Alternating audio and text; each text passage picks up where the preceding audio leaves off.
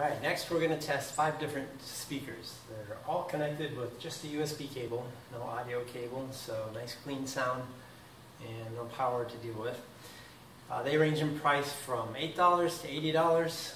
We're going to start with the softest one and work our way up to the louder ones. Um, I'll swap them out one by one and we'll play uh, test sound and record it with the camera, which is about 10 feet away, as well as with this sound app, which I'll put about 10 feet away as well. We can get a quantitative reading also. Phrase for today will be supercalifragilistic. Supercalifragilistic. And about 67 dB. Next up is a pair of iLuv speakers. They come in left and right pair. Supercalifragilistic. 73 dB. This cute little Wally looking like guy is called ILAD, I-L-A-D.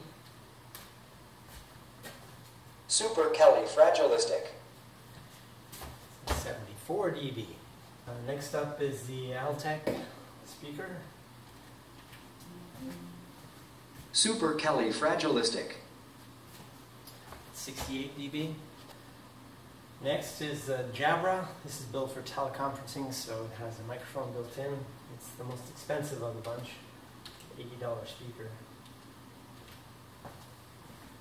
Supercalifragilistic.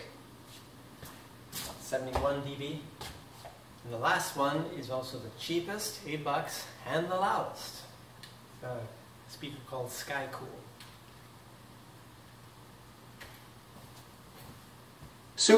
Fragilistic. 82 dB.